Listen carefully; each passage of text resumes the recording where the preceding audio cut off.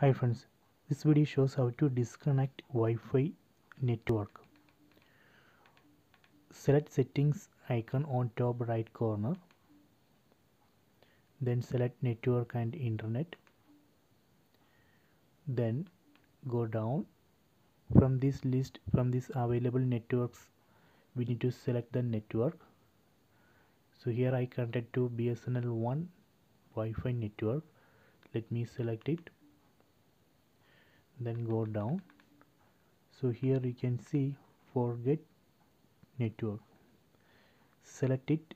That way we can disconnect the Wi-Fi network. Let me select forget network. The left side you can see forget network. This clears information used to connect to this network including a saved password. Okay select ok. So now it's disconnected from the Wi-Fi network and it's it removed the password. If you try to connect again it will ask password. We need to enter the password.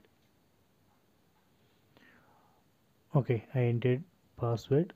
Now it's connecting to BSNL 1 Wi-Fi network.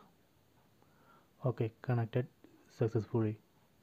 So this way we can disconnect from Wi-Fi network then connect it back so i hope you enjoy this video. Please subscribe my channel. Please like and share the video